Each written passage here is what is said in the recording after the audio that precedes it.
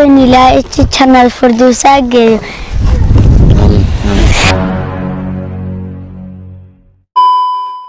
asalaamu calaykum waraxmatullahi tacaala wabarakaatu lala qaali ku xalin jankiisa kan soo fujaa markale muuqaal kale. Haddii aad cusub tahay soo dhawow subscribe sar sidoo kale muuqaalkan noo like si uu gaar dhammaanba soo meelan oo dhan. Fadlan muuqaalkan haddaad daawanaysa like saar waa mar kale muuqaal kale waxaad helayaa jimco wanaagsan gacmo furan ku soo dhawaada sida aad muuqaalka sare ku soo aragtay muuqaalkan isaga waa muuqaal farxadiisa iyo weliba barwaaqadiisa iyo weliba sidoo kale hambalyadiisa wato. Saa ogeedee waxaa jirta gabar soomaaliyeed oo dhowaan baraha bulshada qabsatay siiba quluubta dadka soomaaliyeed. Kadib markii gabadha soomaaliyeed muuqaal iyo sawiro laga soo qaaday xili ay kabo ma garanaysaa ee dad u tirtiraysa gabadhan waxay ahayd markii hore gabar ka shaqayso ee dadku waxay u yaqaanaan baalashka ama waxay ahayd gabar dadka kabaa u tirto. Haddaba taa shaqo waa ceemaa balse siman waxay ahayd gabar aada iyo aada u da-yar iyadoo ku jirto xilligii waxbarashada. Ayay ma dhinac kaleeto la tacaalaysa familkooda waxa ay ku noolaa lahaayeen maadaama hooyadeed iyo familkooda waxba aysan haysan. Ayada ayaa xilligaasi waxay go'aansatay in ay dadka kabaha ee ma garanaysaa u tirto waxay soomaalida u taqaano baalashka ee ka shaqeyso si wixii ay u soo hesho hooyadeed ee ugu keento. Haddaba xilligaasi waa la weydiiyey waxaa la lahay gabar yar baatima wax waxa ay ku jawaabtay ok waxbaa baranahay wixii aa wax ku baran lahay ma isiinaysaa muuqaalkaas ayaa waxa uu xanuujiyey qalbiga dadka soomaaliyeed.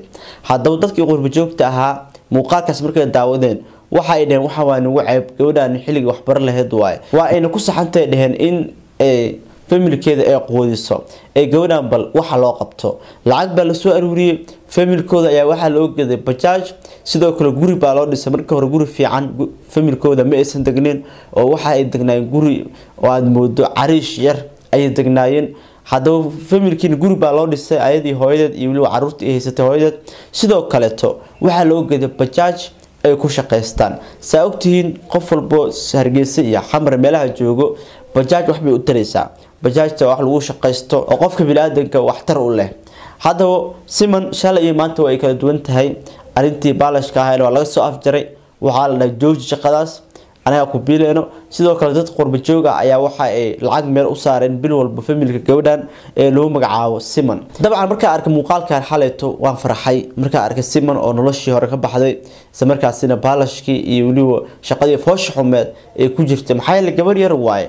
Haddii saan ay ku dhamaysato mustaqbalkeeda hadda markay weynaato ma garanaysaa buuq iyo qalin kuma shaqaysan karto.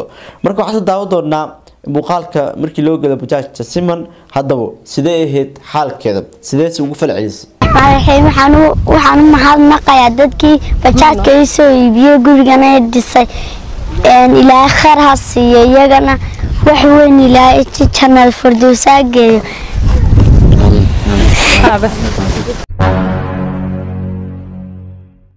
Maasha allah sidaa ujeedaan waa ay faraxsan tahay. Bar muuqaalka aan habar ku celiyo. Waxaan u mahadnaqayaa dadkii bajaajka ii soo iibiyey gurigana ee dhisay ilaahay khayr ha siiyo iyagana wax weyn ilaahay janal firdowsaa geeyo.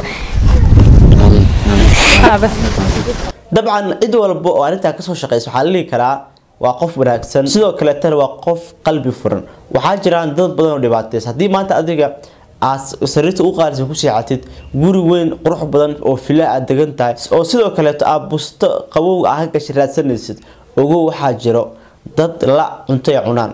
Dad waxaa jiro maanta haddii ay quraacdaan ilaa iyo saa dambe cunto aysan cunin ayaa jiraan. Dad waxaa jiraan iska dhaaf wax kaleeto ilmahooda xataa caruurtooda dhar ay u iibiyaan aysan haysan. Marka sidaan oo kale haddii ummadda intooda xanuunsan intooda oo gaajeysan saa loo garab qaba lahaa dabcan waxaa dhihi lahaa ajir badan laga heli lahaa.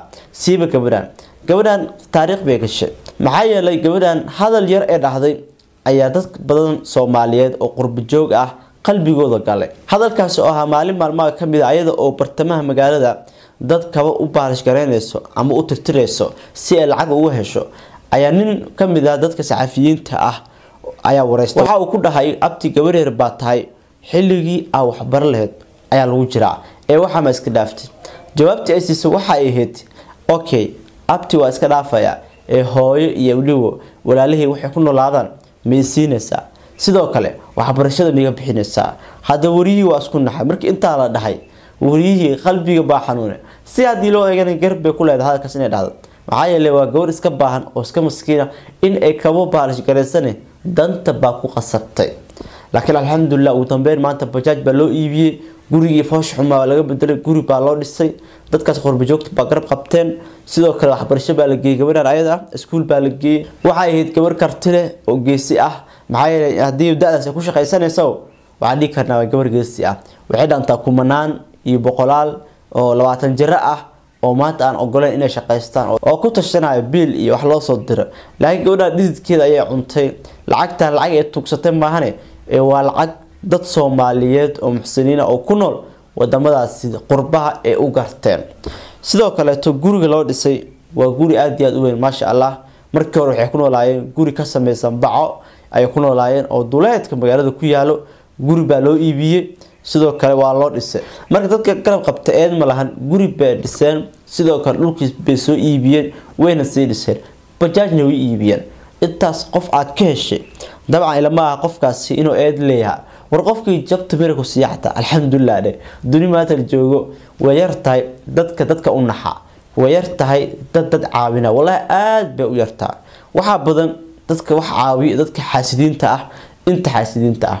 Dadka dadka caawiyo aada bay u yaryihiin marka maanta haddii qof oo ku siiya hal doolar alxamdulilah dheh aamus halkaaga doolar saa u laalaabo jaabka iska gasho. Marka siman shalay maanta way kala duwan tahay. Aniga ku farxay gabadhan caawinteeda. Shalayto muuqaalkii dadka soomaaliya geligeliya baa qeyb ka ahaa.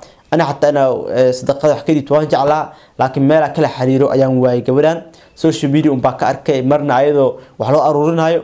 Haatan waxaa u jeedaa muuqaalka isaga ah oo la leeyahay deeqdii baa la gaarsiiyey bajaaj baa loo iibiyey guri baa loo dhisay. Laakiin markii hore ani xataa waan jeclaa gabadhan dadka u gargaaray ilaahay ka soko ee wax siistay in aa qeyb ka noqdo. Waxaa kula tali lahaa dad gabadhan caawi iyo qurbajoogta kaleetaba qurbajoog waxaa jiraan afartan sano konton sano qurbahaas ku jiro. War gabadhan le dad baahan baa jiraan. Dad kale oo gaajeysana jiraan. Marka si codsi ah dadkaas kaleetana u gurmada dadkaas kaleetana hal caawiyo. Dad waxaa jiraan wallaahi been idiima sheegayo waxay seexdaan gidaarada derbiyada dadka shacabka ay seexdaan. Wax ay haystaan ma laha. Dadka qaar waxay ku leeyihiin aniga cunto waxaa cunaa isbuuc ka isbuuc. Saddex maalin kadib baa cunto cunaa. Sida aniga sida joogtada cuntada u helno aan u dhaqannahay ogow dadkoo dhan uma dhaqna. Dad baa baahan. Marka ugu dambeyn gabadhan ayadaa siman way faraxsantahay maanta u soo hambaliyeeya waxaa leenahay siman iyo familkeeda bajaajkaas ku shaqaysta insha allah noloshiina dhacsada magaaladiina soo gala. Maanta dadka waxba ka barduwanadiin maanta waxaa tihiin dad guri haysto bajaaj ay ku shaqaystaan haysto.